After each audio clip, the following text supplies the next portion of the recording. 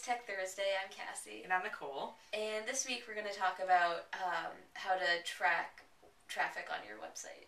Um, yeah. in particular to a certain page, because sometimes people are sharing a page. Um, so, for example, we have some people running the marathon, and a lot of them are raising money, and they have fundraising pages. They use like CrowdRise or GoFundMe or something like that to raise money for this marathon. And so, what they probably want to see is how many of my friends, when I share on Facebook, are actually clicking on that link.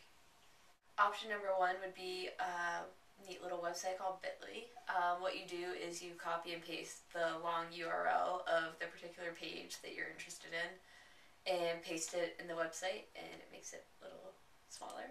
And you can see the number of people that have clicked on this particular page. So and it works even if it's not like your particular website. If it's an article that you shared from somewhere else, you can check it out. Yeah, and Bitly is the only tool, by the way, that we're talking about that you can use on a website that isn't your own. Yes. And all you do is you take the Bitly link, you add the plus sign at the end, and you're able to see how many people have looked at it, generally from where they're from in the world in terms of country, um, and whether they came from Facebook and Twitter. And number two, which is um, probably the least sexy, but definitely is working, is the stats that are provided by your web hosting company. So if you've had a website online and you have web hosting, your web host is tracking who comes to your website. Uh, they want to do that for, of course, checking if see if someone's hacking it, right? Or just generally they have a program that, that comes with. So our web host, for example, uses AW Stats. And they're not very sexy looking. Um, you can only see them, I think, for a particular month. Like you can go kind of month to month. You can't customize. Like, can I compare the first week of September of this year with the first week of September of last year? Um, you can't really do anything sexy like that. But honestly, if you're not working from anything, it is better than nothing.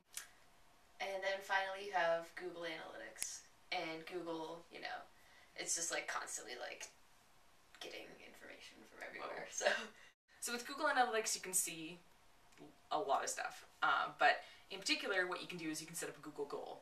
So let's say you want everyone to get to, I don't know, your sale flyer of you that you're having for Christmas because it's October and you care about this right now. Um, you have the sale flyer on your website or kind of telling people about your sale and you want to see how many people get to it. So what you do is you have set up a goal in Google of people getting to this page.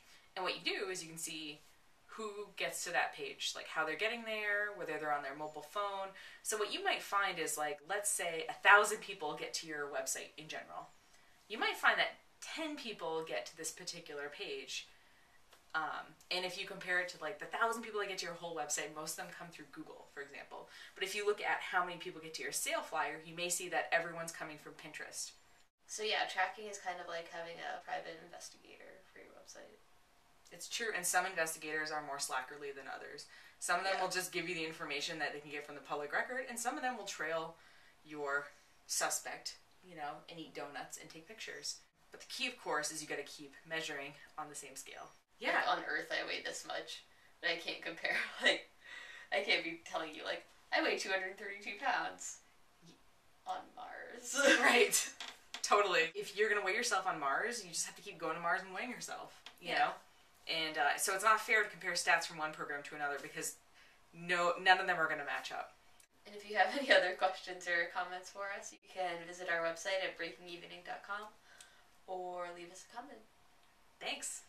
We'll see, see you next week. yeah, totally. Bye.